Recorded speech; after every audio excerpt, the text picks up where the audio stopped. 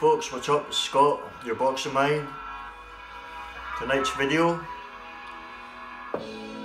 have a long term perspective. Okay? Long term perspective in your life. Okay? Everything you do in your life, think long term. Okay? So, your work. Are you improving in your work? Are you growing? Are you getting more skills? Are you getting better? Okay, where you going? Don't just do a job for the sake of a job. Choose a career that you enjoy and you want to improve and become the best at over 10, 20 years, whatever. Okay, a sport. Do you play sport? You're going to stick it out for 10, 20 years, keep getting better long term, okay? Your health, eat good. Drink plenty of water, eat the right food.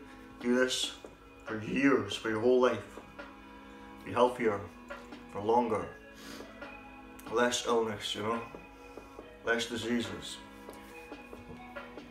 Healthier, longer, you know, more energy for longer, get more out of your life. Relationships. Choose the right people and invest your time and your energy into these people for years, okay? Build them up, make them stronger over time, okay? Don't just keep chopping and changing and I mean, choose solid team, solid people, your family, whatever, keep putting your energy into them for the long term, okay?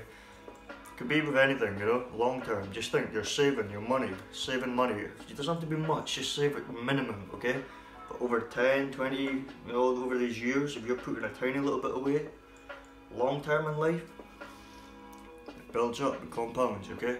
So just start thinking long term. Too many people are only thinking for tomorrow, living for next week, and they're making silly decisions and they're not investing making the right choices that are going to build up over time and pay off in the long term, okay?